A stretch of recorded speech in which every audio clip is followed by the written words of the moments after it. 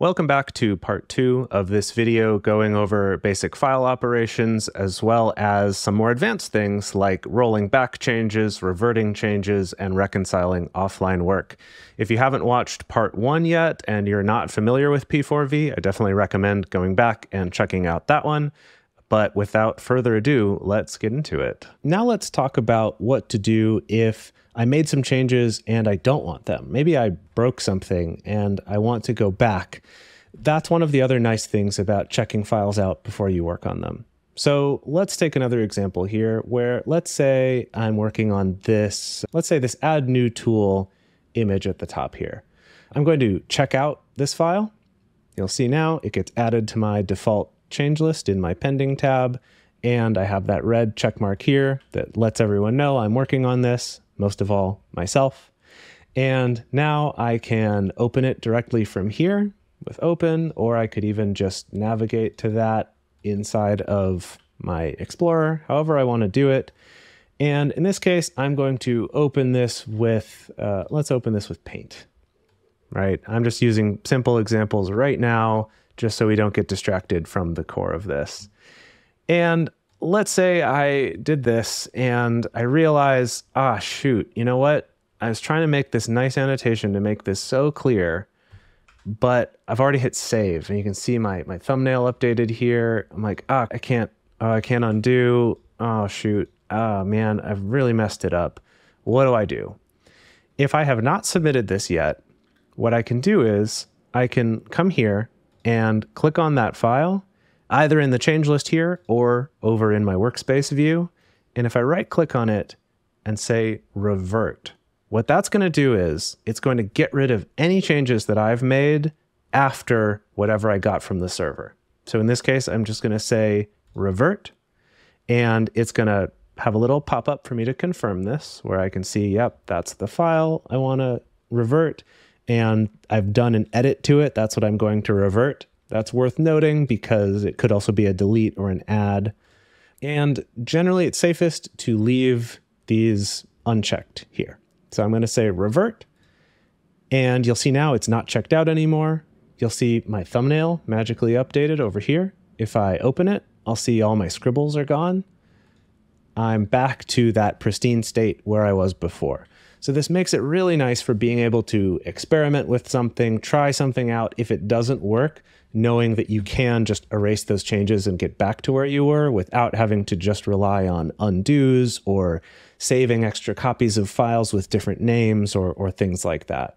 Let's take an example now where I've done this same thing and I've, again, I've, I've saved, I made that change. You can see my thumbnails updated and then I did submit it.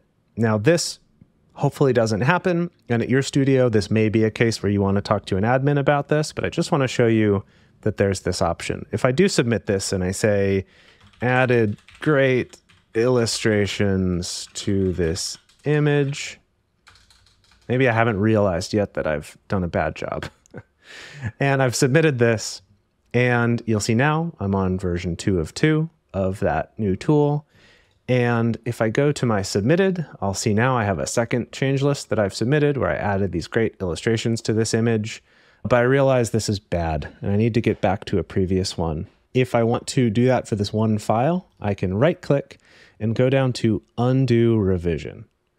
And what's going to happen here is that, first of all, it's going to confirm which file it is I'm undoing. And I have a few options here. So one is to undo a single change while keeping subsequent changes, which for an image file doesn't really have any meaning. That mostly just shows up for text files, where I can just remove a change in the middle of a series of changes. This is a little bit more complicated. So generally speaking, undo all changes from a selected point to the most recent version will be more often what you'll do, where you just say, I want to get back to how it was at a certain point. So in this case, we're on revision two of two. So I want to undo all changes beginning from revision two up to now, which is two, right? So what happens here is I'll hit save change list. And now in my pending, I have a new change list that is doing the opposite of what I did before. And you'll see we have this new icon here that says marked for integrate. Um, so that means I'm taking something from the past and instead I'm kind of moving that back up to be the latest version here. So in this case, you'll see I'm, I'm just doing this one file. If I open it now, you'll see that it doesn't have the scribbles anymore because I'm integrating back that revision one on top of revision two. So remember, with all of this, your history is permanent. Like that's always going to be there in the history that that change was made at some point. Uh, but I'm going to undo that by essentially redoing how it used to be. So just something to kind of wrap your head around a little bit there. Uh, let me show you one other way to do this. I'm going to hit revert here to say like, okay, never mind. I didn't want to do that. I'm just going to say revert, click revert. Great. That's gone. You'll see it, it, in this case, it left an empty change list. If that happens, I can just right click here and say delete pending change list. I like to do that just to keep things clean and orderly in here. Uh, and now let's go back again. And what I can also do is undo an entire change list. So in that case, I just did one particular file. I could also go back here and say, I want to undo changes in change list 150. And in this case, this is just going to undo all of those changes. And I'm going to say, yeah. Much simpler option there. And you can see in my pending, I now have this new change list that in this case is the same thing as it was before. It's that same integrate from the first revision, but that's just another way to do it that can be easier if you made a bunch of changes all at once and you want to undo all of those. That's a way you can do that. So in this case, let's go ahead and submit this and you'll see it autofills with what it's doing. In this case, undoing that change list there. One other thing to note here is that we could even uh, do this for an entire folder. So let's say somebody made changes and, and everything's broken today, but we know that it worked earlier today. Let's say that we, we know that this worked at 2 p.m. today and it doesn't now. What's the deal? We could come here and right click on images and say, I want to undo changes. And again, I want to do undo changes from a selected point to the most recent version. So I'm going to undo everything, get us back to where we were at that point. Instead of saying revision, I can actually even pick a date and time and I can change this and say, I want to get back to how it was at, at 2 o'clock p.m. because I know it worked at that point. And I'm going to say, yep, save to change list. And it'll give me a little warning here if it's going to delete some files to do this. I'll just say OK. And you can see now, this is what my uh, project looked like at 2 p.m. today. It didn't have any of these files. I hadn't added those yet. And so to get back to that state, it's going to delete all those. In reality, this would look different for you. But again, I could do that, check this now, and see does the project work? Does everything look okay? If it does, then maybe I want to submit this and actually truly undo all the way back to this point. I still have that other history, but I'm kind of saying, no, this is now the latest. Let's let's take a step back. Um, or as we mentioned before, I can always revert if I don't want this. Right click here and say revert files. Again, it'll prompt me and I'll say yes, revert. Again, I'm leaving these unchecked. Read the options. They're pretty self-explanatory, but I'm just going to say revert here. And you can see now I'm back. All the files are back. So something to keep in mind is that even if you were to do something silly like come along here in your Explorer and just like hit delete, I just deleted all of those. And you can come in here and go, oh, shoot. Oh, no, I deleted everything. Oh, gosh, what have I done? Oh, no, what's happening? That that stuff all still exists on the server.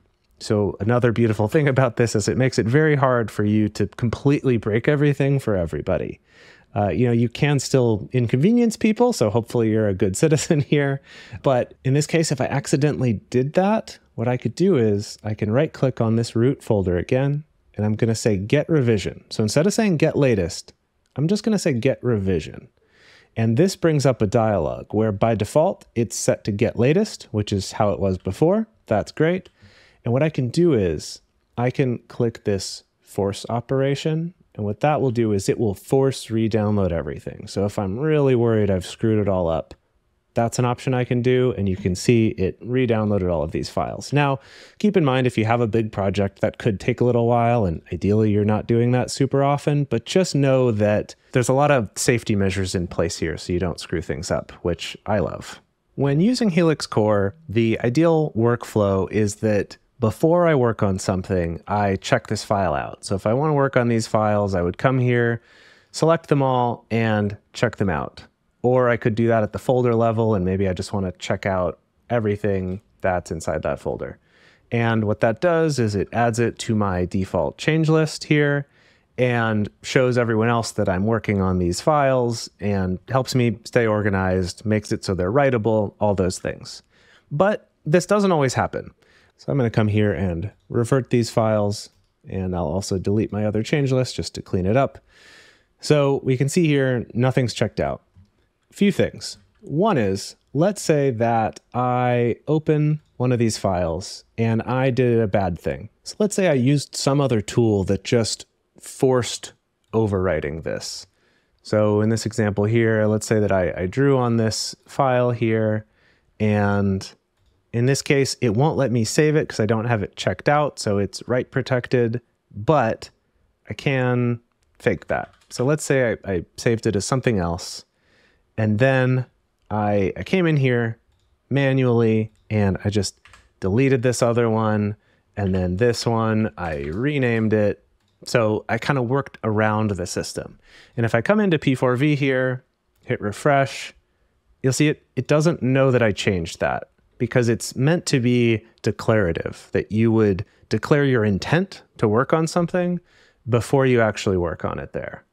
And so in this case, you'll see that that hasn't happened. It doesn't know about it. Where this most often shows up is if I'm using some kind of automated tool that maybe generates more files or edits some files, and I'm not directly interacting with those myself. What we can do here is what's called reconcile offline work. So if I want to do this for my whole project, I click on my root folder here and right click and say reconcile offline work.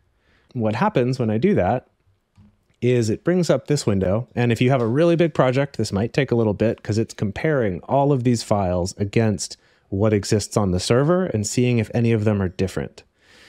In this case, what it did is it noticed, hey, this file here is different. So it's modified from where it was before. If I had added a file, that would show up here, or if I had deleted a file and not told the system about it, it would show up down here. So that, if I just say reconcile, it then adds that change to my default change list here, and I'm all good to go.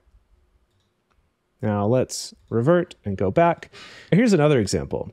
I need to add a new group of files to this. Let's say um, I have this, this other folder of images. So I just pasted these in here. You can see these are some new images here. And again, if I click here on refresh, you'll see it shows up, but they're not in my default change list. So if I know exactly where they are, what I can do is I can come along here and I can click add, and that will add all those new files. Or again, if I'm like, I don't remember, maybe I added some and I edited some others, I'm not quite sure what happened, I can again come up here, right click, reconcile offline work. Or maybe I know, uh, you know what? I know it happened in this images folder. Uh, so here, let me first revert these files. Now, I added these files. If I have this check mark checked that says delete files that are open for add from the workspace on revert, that will actually delete those files when I do this revert. But if I leave that unchecked and I say revert, what happens is it removes them from that pending change list, but it doesn't actually delete the files out of that folder. So something to keep in mind, depending, you know, sometimes you want one and sometimes you want the other. But let's say I couldn't remember where I'd added these, right? Imagine I've got hundreds of folders and I, I don't know where that one is. I can come up here and just say reconcile offline work, and it detected, oh, look, these files here are new. Okay, let me cancel this. And let's say I came in and uh, deleted those files there. Again, I didn't do it through P4V, so it doesn't know about it. I refresh, they're gone, but they're not here on my change list. So if I go here and I say reconcile offline work, it detects that I deleted these three files and that I added these other ones here. And then I could say reconcile, and then it puts all that into my default change list here. So submit this and I'll say added images folder and deleted some stuff. This is a bad description, but ideally yours would be a little more reasonable. I can see here on my submitted change lists, added images folder and deleted some stuff. If I look here, I can see all the files that were part of that change list. And now let's go over to my other machine here. And if I hit refresh, I get that little yellow icon showing me that there's updates here I haven't gotten yet. So let's come up and say get latest. And now I can see all those files disappeared, got deleted off my system, and this images folder with these images has been added. Now you might go, oh shoot, I've, I've lost those files. Oh no, this is terrible. Remember that the whole history of everything is stored on your server and you can get back to it. So in this case, if I go here and I will um, look at all the change lists submitted by anyone, and I can see that this one here is the one that added those images um, so what I could do is come along and undo that as we've covered in another video. I could undo those changes, which will bring them back. Or if I wanted to just temporarily see how it was before, what I could do is come up here. And so I know that 154 is where this change happened. And I'm like, wait, I thought there were files there. What did this used to look like? What I can do is I can say, well, 152 is what it was before, and I can tell that by looking at my submitted change lists here. And if I come up here and I say get revision, I can then specify I want to get change list 152. Or I could even browse. And if I browse and make this a little bigger, I can see those descriptions that go with it. So yeah, I'll say I want 152. And I'm going to say, yep, get revision. One thing to note that I just forgot here is that when you do this and you specify revision using change list, so 152, uh, that this checkbox here, only get revisions for files listed in change list. What that means is if I look at this change list here, it's only going to get the previous version of this file, this add new tool PNG, which in this case, we already have that latest, so no files updated is what it told me down here in the log. Now, if I go back to here and I uncheck that, it will get all files as they were at 152. So I'm going to say get revision, and you can see now, boop, those files are back, and this images folder now is empty. So that folder stuck around, but those files are gone. If you don't like having these orphaned empty folders, if you go to connection and edit current workspace, in your advanced settings, this setting here, rmdir, says delete workspace directories when empty. That'll make it so if a change happens where that folder becomes empty, it will delete that folder. You may or may not want that. I usually do. Um, so if I have that checked here, and let's say I, um, let's go back to get latest, and then I'm going to say, again, get revision, and I have this unchecked, so it's going to get everything back to the way that it was in 152. And I hit get revision, and you can see this time it actually deleted that folder there. So that's just a, a handy little setting. Now, you'll notice that I can see all these files as they were back then, but they have that little yellow triangle on them showing me that I'm not at the latest, so I can't be editing these and then submitting changes back to the server. To do that, I need to be on the latest. Now, if it's like this is a problem, this needs to get fixed, that's where we would do an undo and we would actually get back those changes. So in this case, I'm going to say, yeah, I didn't want to do that. I want to keep these new images that I added, but I want to undo the deleting I did of those files. So I can go to my change list here, 154, and I can see by the little X, it's a little small on this screen, but with that little X there, these means these were deleted. What I can do here is right click and say, I want to undo changes in this change list. And I'm just going to say, yeah, save to change list. So don't submit right away. I'm going to say save to change list. And yep, it's going to mark that it's going to delete some files. It's just kind of warning me, be careful before you submit this. If I go to pending, I'll see I have my undo change list that it's created for me. And I have these ones that have this little branch marked um, for because these got deleted and I'm going to add them back in. And these ones that I added that I'm going to delete in order to undo this change. But in this case, I don't want to do that. So I'm going to select all these deletes and I'm going to say revert. And I'm going to say, yep, revert. Now what I've said is, hey, don't don't delete those files. Bring those back, but I do want to undo deleting these. So in this case, I'm going to say submit and yep, undo um, like to get back files. And I'll say submit. And now you can see I have these files again. And now if I switch back to my other user here on Windows, I can see that if I come up here and say get latest, I now have these files back again. So you can see how these things can work really well for going back and forth between different places and also can really work well for transferring changes between your own computers or between completely remote sites where you can kind of get everything ready, submit it, and then someone who is maybe at a different studio could then sync that change and they can get all those latest in a nice package and they can actually see your little note about what you did when you did it, as well as what files were changed there. I hope that was helpful for all of you out there. Feel free to reach out with more questions and let us know what you'd like to see in the future.